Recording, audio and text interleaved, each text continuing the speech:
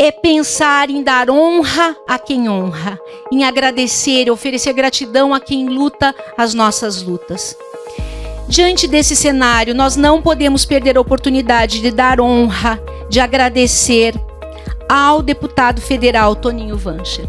Você mudou a vida de muita gente com as obras que viabilizou, com as obras que conseguiu e com os equipamentos, inclusive, que trouxe. Nós estamos sempre de braços abertos para todo e qualquer apoio, para todo e qualquer é, é, investimento. A gente sempre acolheu quem gosta da nossa cidade, quem quer o bem, quem quer construir por Guaratuba. Você, deputado Toninho, é um dos que mais nos ajudou, do que mais demonstrou esse, esse apoio e por isso recebe o nosso abraço. Muito obrigado, essa comenda é muito merecida e o senhor seja sempre muito bem-vindo na nossa cidade. Me sinto orgulhoso de receber essa comenda, fico honrado.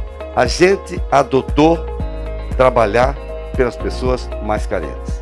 É, o nosso, é a nossa missão aqui como deputado. Quem me conhece sabe que eu não estou aqui falando demagogia.